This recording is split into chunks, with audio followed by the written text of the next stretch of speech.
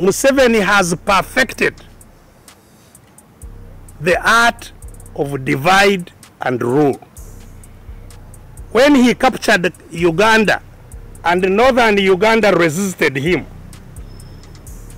he now hopes to turn southern Uganda against the north.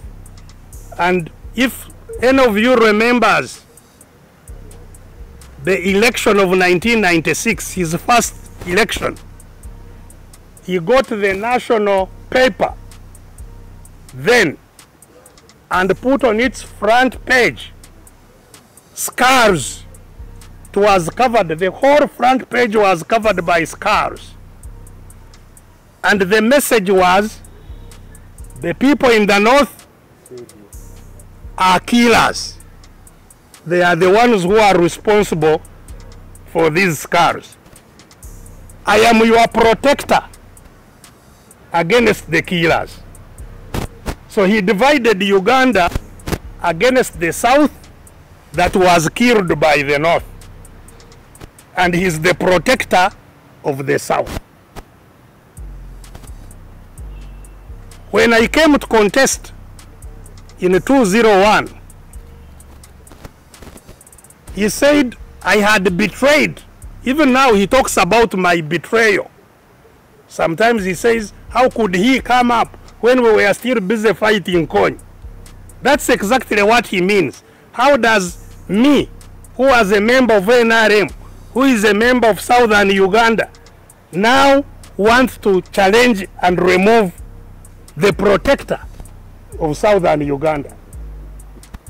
And you will remember, after that election, I was prosecuted in court for being a supporter and member actually of the Kony War.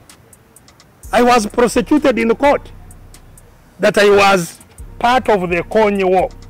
You remember the whole story of uh, uh, Opoka? Eh? James Opoka. James Opoka? They were say, linking me to Kony. In the trial, which was in the High Court here, they brought witnesses to testify that I was actively working with Kony. They brought a girl called Jennifer Aliemo. That is the girl who used to come to court with, with a huge headgear. Uh, where eventually we discovered they were headphones uh, where they were telling him what, telling her what to say. Whenever the, the, she was asked a question, they would communicate. You say this through the headgear. Jennifer Ariemo, I don't know where she is now. She said I had held meetings with her and sent her, uh, I think even given her money to take to Kony.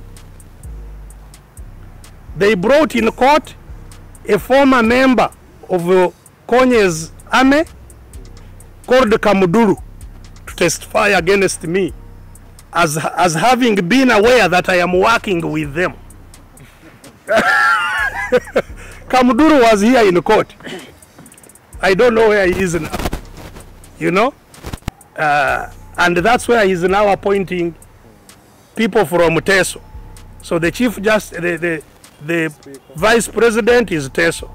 The speaker Teso. Minister of Foreign Affairs Teso. And others, the uh, these uh, Elwelu, uh, no, the, or, or even in the army, those Elwelus coming up. Uh, uh, the, the other one of, of disaster preparedness and others, uh, you know, uh, the IGP and so on. Now it was focusing the patronage to the north. Uh, the, what, you know, of course, previously the speaker, Oulanyah, was from uh, the north. So this is a divide and rule.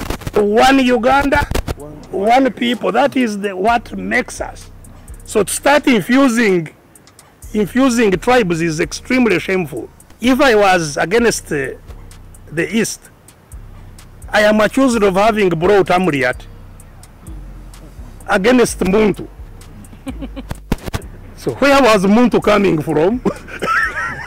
and where was Amuriat coming from? So why would I then fight Muntu and, and, and the other one? Of course, I have, there have been many now accusations. Everything that can be thrown on me is being thrown on me. But I think the population will eventually uh, become get a kasengeja. And uh, of course, I have been accused by the Honorable Nandala now publicly that I didn't support him when he contested against General Muntu. So I don't know whether I have, I have heard it going around, and it is true. I can confirm that I didn't support Nandala. I didn't. I, I am not a one to tell lies. I didn't certainly support Muntu. Because you see, it would have been, in my view, wrong. I was the party president. I was the one who handed over to the winner.